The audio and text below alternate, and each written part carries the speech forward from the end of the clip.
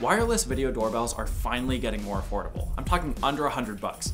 So we're testing models from Wyze and Blink to find out which one ring-a-ding dings and which one ring-a-ding don't.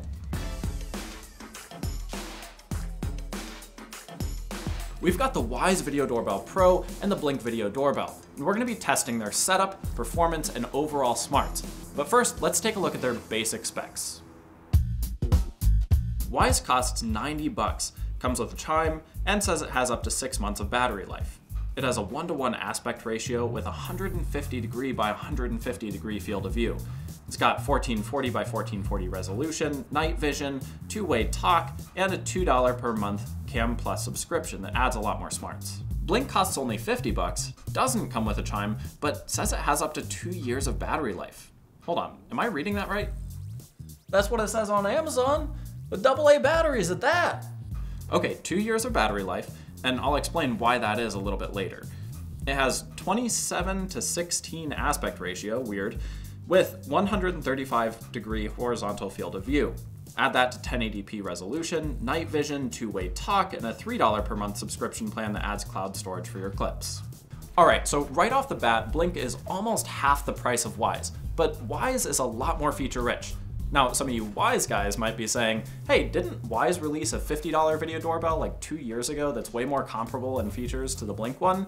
Well, yes, but it's not wireless, so it's not in this video, sorry. So which one of these devices is winning so far?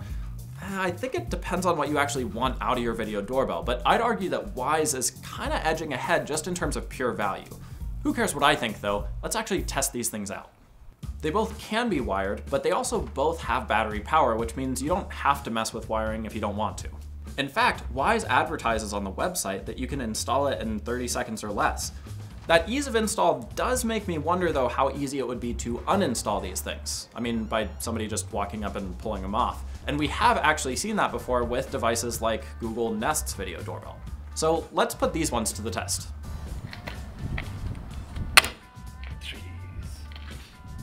Nothing. Nothing. That was insanely easy. Ooh, just snapped it right off. Turns out, even with an extra screw on Wyze's doorbell, these things are both pretty easy to swipe. Such is the cost of convenience, I guess. All right, we know the specs on these doorbells in theory, but let's see them in action.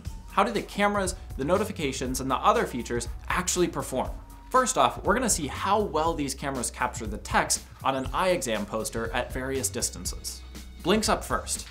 Okay, so Blink gives a pretty crisp and clear image, but that narrow vertical field of view means everything below line 6 isn't even visible. Bummer. Now Chris steps back to about 5 or 6 feet and you can just make out line 7. Not too bad. Chris moves back again to like 12 feet and we can decode line 4, but not much below it. And the last two positions much farther out, we really can only make out that one giant E on the first line. Now for Wyze.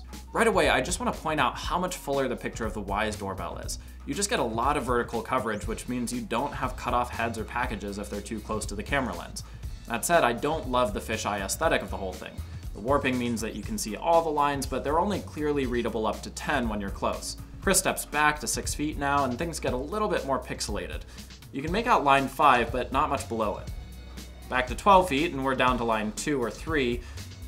Farther out, we can make out the giant E on the top line, but at the farthest distance, I can't even make that one out. So the vision test is pretty neck and neck here. Wyze gives you a much better picture up close, but Blink has better vision at a distance. This is a pretty close one, so why don't we test them out in a more real world scenario? We're going to simulate a package delivery and a package theft, running each test twice with both doorbells to see how they respond. Let's start with Wyze. Okay, so we get the doorbell notification and open the app, and Chris is already gone. Of course, because of that nice field of view, I can still see the package, and the clip was saved, and that shows, yep, there's Chris dropping off the parcel. Okay, he's coming back to steal it now, and uh, the notification opens the app, but not the live feed, so by the time I pull it up, he's long gone. Again though, the clip is saved. When we repeat the test, we get largely the same results. The notifications show up on time, but the feed is slow enough that I wouldn't be able to intervene with two-way talk or something. But the clips do get saved, and all of them are labeled as person clips too. Let's check out Blink. So Blink's motion notification comes in just ahead of Chris ringing the doorbell, which is a teensy bit faster than Wyze's, uh, but it's the same deal with Chris already being basically gone by the time I pull up the feed. The clip does get saved, but it kind of cuts off after Chris turns to go. When Chris comes back to steal the package, I'm hoping that faster motion alert pays off and I can stop him. Okay, I get the notification, and he's basically already gone. The clip is saved, but man, that delay kind of puts a hitch in me stopping the porch piracy as it happens. We run the test again with similar results, but I want to point out two things. First, Wyze's field of view means that you can easily see that a package has been left on the doorstep, which is nice. Number two, despite Blink's nice clarity, here under the shaded porch with a bright background, Chris is almost reduced to a silhouette. Wyze's dynamic range makes a big difference here, and actually identifying a porch pirate, or any visitor, would be a lot easier with Wyze. At the end of the day, both video doorbells send timely alerts and record clips you want them to record, but neither of them is fast enough to let you intervene if someone's stealing your packages. That said, I think Wyze's field of view and dynamic range actually give it the edge in this test, because I could actually tell that a package had been left, and I could better identify the thief trying to get away with a crime. Not on my watch. So we've tested performance, but what about other general smarts? Well, Wyze gets the hat tip again because of its cheaper subscription and its better out-of-the-box smarts. One big limitation with Blink too is that you can't pull up a live view from the video doorbell unless motion or a button press prompt the device to begin recording. It's kind of a weird constraint, honestly, and it means that you won't be able to check in on your front steps for other reasons, like being able to see the accumulation of snow if you're out of town or something like that. I'm pretty sure this approach is why Blink advertises that two-year battery life, which is currently pulling at okay, and the device kind of gets around it by taking a mid-res snapshot every hour to update its thumbnail in the app, but I don't think that really accomplishes the same thing. Now, you can also check in on the live view if you buy an extra device, the Blink Sync Module 2. Man, say that five times fast. For 35 bucks, which sort of defeats the uber cheap purpose of this thing. For many, the inability to check in live and at will is really gonna be a deal breaker. Wyze gets another big point for coming with a chime. With the Blink doorbell, you can wire to your existing chime or use an Echo Smart Speaker or display as an interior chime, but I like that Wyze just closes the loop itself and guarantees that you don't have to buy anything extra to get the same old doorbell experience you want. So which cheap wireless video doorbell really is the best? Uh, ultimately, you'll probably have to decide for yourself according to your own needs. Nah, I'm just kidding. Wyze is definitely the better value, and most people should buy that one. The field of view, better dynamic range, smarter features, and included chime really make it a solid budget option for anyone in the market for a wireless video doorbell. Thanks for watching. If you enjoyed the video, be sure to like and subscribe to CNET for more. If you're interested in buying either one of these products, check out the links below.